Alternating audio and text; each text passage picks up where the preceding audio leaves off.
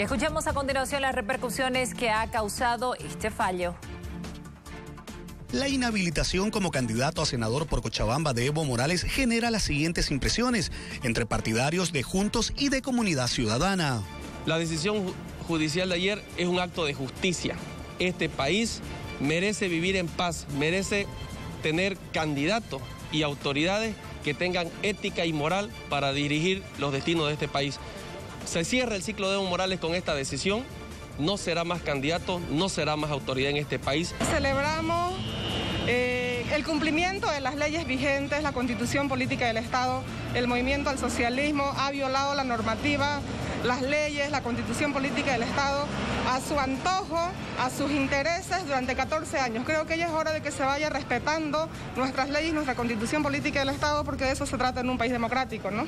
Mientras que en el MAS afirman que respetarán el fallo de la justicia, aunque no lo comparten.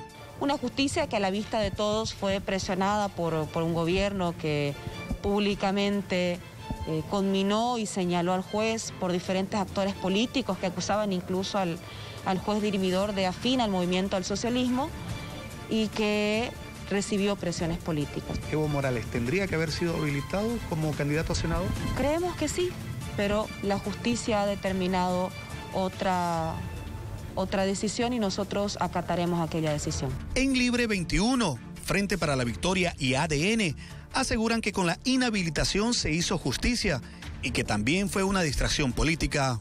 Eso es lo que tenemos que celebrar, que hoy la justicia reconoce que ese ciudadano no es que solamente está eh, impedido de participar porque no vive en Bolivia, sino que muy aparte el pueblo va a festejar porque este indecente no participe de las elecciones. Nosotros siempre dijimos de que se debe cumplir la ley.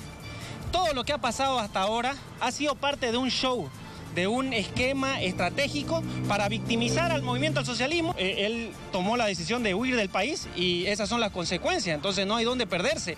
Lo que ha sucedido esta semana ha sido una distracción hecha y bien armada entre la Corte Electoral y el propio MAS, ya porque el fallo ya había sido dado mucho antes por el Tribunal Supremo Electoral.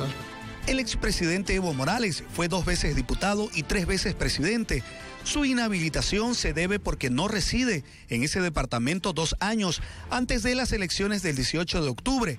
Evo Morales deja de participar en un proceso electoral desde 1997.